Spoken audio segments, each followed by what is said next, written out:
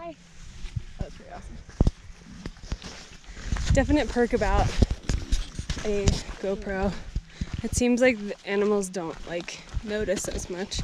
Um, yeah.